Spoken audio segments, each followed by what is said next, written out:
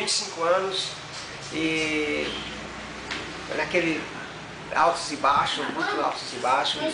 Mas graças a Deus, a gente tem um público, não é tão grande, mas é um público fiel, que me acompanha há muitos anos.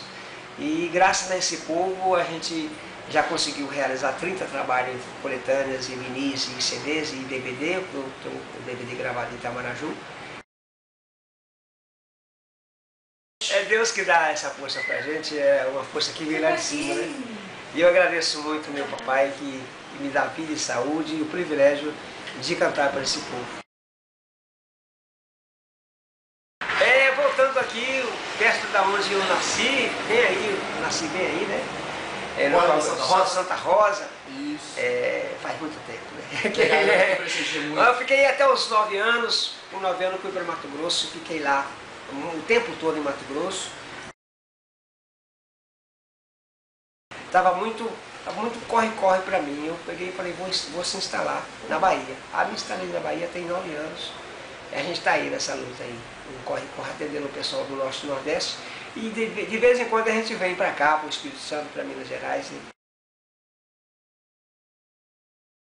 Ah, é um amigo muito especial, né? É uma pessoa que é, já pensou se eu tivesse os três desse aí, quer dizer, põe um só vale por dez, que você seria 30, 30 fãs ou, ou é fiel, né? que esse aí é um fã fiel, é uma pessoa que que está no coração, né? Está na cabeça e está no coração. Edinho Eletricista. Meu muito obrigado. Então a gente, o dia a dia deles é parecido com o meu.